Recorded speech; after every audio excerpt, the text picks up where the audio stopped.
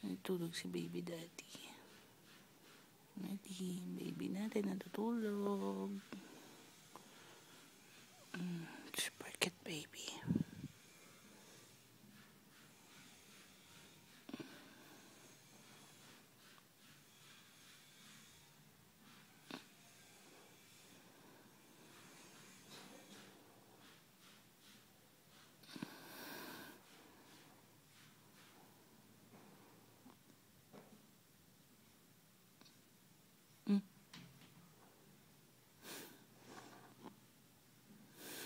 Mm-hmm.